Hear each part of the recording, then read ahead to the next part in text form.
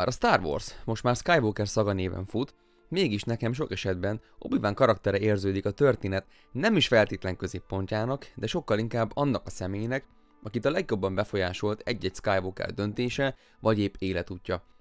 A szitebb bosszúja végén, a Mustafari bárbajban nekem az ő csalódottsága és bánata sokkal erőteljesebb volt, és valahogy emberközelibb, mint Anakiné, akinek a legnagyobb szimpátiát kellett volna belőlem kiváltania. Legutolsó találkozásunkkor Obi-Wan Kenobi már tudta, hogy volt tanítványa nem lett a lávamező áldozata, és Darth Vader néven újjászületett. Viszont személyesen a közel végleges találka óta nem találkoztak, és Vader elméjében csupán az obi név emlegetése is tűszerű hatást váltott ki. Ezért minden tőle telhetőt megtett, és rengeteg energiát fordított obi felkutatására. A halálcsillagon pedig ez a lehetőség szó szerint belébotlott. Most arra nem szeretnék külön kitérni, hogy a harc, amit kettőjük között látunk, jó indulattal is idejét múlt, régen volt, sosem csináltak még ilyesmit előtte, kevés pénzük volt, ez nem a videó témája kitárgyalni. Viszont arról nagyon is beszélnünk kell, obi miért dobta el az életét ilyen könnyedén. Véder élete bukása után egy örökös kínzókamra, melyet konkrétan egy börtönben kellett leélnie. Ennek első számú felelőse az ő szemében, önmaga mellett Obi-Wan Kenobi. Mikor megérezte a jelenlétét a halálcsillagon, Véder vérszemet kapott, és innentől csak ez az egy cél lebegett a szeme előtt. obi nem véletlen kapta a tárgyalás és alkudozás nagymesterének átvitt értelmű titulusát, és ahogy Mól ellen a Tatuinon, úgy Véder ellen a halálcsillagon is először a többiek menekülését tartotta prioritásnak. Részben ezért próbált szóba elegyedni volt tanítványával, ezzel is időt nyerve nekik, ám Luke felborította a számításait. Luke, aki az utolsó reményt jelentette Leia mellett, a Jedi rend fennmaradásában játszott kritikus szerepet, ezért Kenobinak muszáj volt időt nyernie, hogy Luke és a többiek el tudjanak menekülni az űrállomásról, ami a legfőbb indok volt önfeláldozásának. Azonban Luke a harcuk vége felé közeledve, mielőtt felszállt volna az ezer éves sólyomra, megpillantotta őket harcuk közben, és segíteni akart az idős mesternek. Ez innentől padhelyzet, amiből obi a fénykardjával nem tudja magát kivágni. Ezért ahhoz, hogy Luke is el tudjon menekülni, és Véder is ártalmatlanítva legyen, muszáj volt egy váratlanat előhúznia. Miután Véder fénykardjával végzett vele, a halála és az utána keletkezett űr az erőben olyan sokkoló volt régi tanítványa számára, hogy gyakorlatilag hatástalanította a szit nagyurat. A felismerés, hogy mestere nincs többé, és hogy végül mégis neki sikerült megölnie őt a saját kezével, elképzelhetetlennek tűnt, ezer évnyi küzdelem és bosszúvágy után. Ez a pár pillanat pont elég volt ahhoz, hogy Luke-ot a fedélzetre vigyék a többiek, és indulásra készen álljanak. Mire Véder észbe kapott, addigra már az ezer éves legénysége a fedélzeten tartózkodott, és a hajó elrepült. A második számú indok megfejtéséhez mindössze az elhangzottakat kell újra meghallgatnunk. Én pedig lesújtok majd tereát hatalmas bosszúval és rettentő haraggal. Hups, nem ezt? Obi-Wan Véder számára ismeretlen képességgel rendelkezett, amit Yoda mestertől kezdett el tanulni a köztársaság bukása után. Ez a képesség pedig Jedi számára, sőt, bármilyen erőhasználó számára a lehető leghatalmasabb, ez pedig a halhatatlanság elérése. Az erőben ez a képesség volt a legnehezebben elsajátítható, és csak nagyon kevesen értékel ezt a szintű kapcsolatot az erővel. obi teste halálakor egyé vált az erővel, minek következtében a köpenyén és a fénykardján kívül más nem maradt a halála után a fizikai létben. Ez sokszor látni más erőhasználóknál haláluk pillanatában, amit sok esetben valamilyen energiák felszabadulása is követ.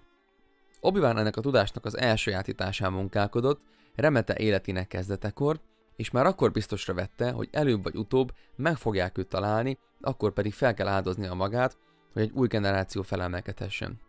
És bár fizikailag nem tudott többé Luke tanítója lenni, ez nem jelenti azt, hogy nem tud már többé a hasznára lenni. És lássuk be a legnyilvánvalóbbat is, obi a halálcsillag idejére már korán sem emlékeztetett arra az elszánt harcosra, aki annak idején volt. A tatuini elzárt életvitel, a sivatagos éghajlat, a harc mellőzése ilyen hosszú ideig, és természetesen az életkora mind-mind negatív hatást gyakorolt obi harci teljesítményére. És bár obi számára egyértelmű volt, hogy ez a nap valamikor eljöhet, ezért természetesen készült rá, testileg és szellemileg is, ezt mégsem lehet előre megtervezni. Ahogy Mól ellen el tudta játszani a régi módszereket, úgy Véder ellen ez teljességgel lehetetlen volt. Mól egy cseppet sem változott obi számára, és a harc közben kiszámíthatóvá vált. Ösztönösen cselekedett, és a harag és a bosszú volt az egyetlen, ami motiválta, és éltette egy harcban. Tisztán az utálata, amit obi iránt érzett, elég volt ahhoz, hogy életben maradjon egy halálos seb után. Ez Véderről egyáltalán nem mondható el. Azon kívül, hogy egy teljesen más ember lett, egy egészen más küzdőféllé is vált. Technikája és módszere fenekestül felfordult, és rá sem lehetett ismerni a régi Anakin Skywalker félre, ugorjunk fejest a kalandba vívóra. És mi alatt obi a Tatooine sivatagában töltötte idejét, Véder életben maradt Jedik levadászásából csiszolhatta vívó tudományát. Mester és tanítvány lévén Véder nagyon is ismerte obi technikáját, és tisztában volt régi mestere trükkjeivel is. Ezek a tényezők jelentősen Véder malmára hajtották a vizet, és hosszabb távon egyértelművé tették a harc kimenetelét. Ami még ez a harchoz kapcsolódik szorosan, az obi a halála. Bár ebben a videóban azt boncolgatom, hogy miért tudott végezni vele Véder, számos forrás utal arra, hogy valójában ehhez neki semmi köze nem volt. Hasonlóan Joda halálához, aki fizikai teste halála után az erőben élt tovább, obi is a fénykart suhintása előtt egyesülhetett az erővel. Erre utal sok átdolgozása az eredeti könyvnek, ám ellentmondásos információk is vannak. Az általam talált kiadásban például így hangzik ez a rész. Cseles mozdulattal ismét előre lendült, és aztán halálos íbben lecsapott a karddal. A vágás talált. Kettészelte az öregembert. Valami röviden felvillant, ahogy Kenobi köpönyege két részre válva levitorlázott a padlón. De Ben Kenobi nem volt benne. Attól félve, hogy becsapják, Véder még beleturkált az üres köpönyek foszlányokba a kardjával. Az öregembernek azonban nyoma sem volt. Eltűnt, mintha sohasem lett volna. Itt egyértelműen leírják, hogy Véder szelte ketté obi viszont a klasszikus kiadásban ez már másképp szerepel. És akkor obi Kenobi elfordította fejét. Úgy tűnt egyenesen Luke-ra néz. Egy mosoly jelenik meg az arcán, ez pedig Véder lehetősége. Egy villámgyors suhintással szeli ketté a köpenyét, ahol benne kellene lennie. De a Jedi Mester nem volt ott. Csak a köpeny vált félbe.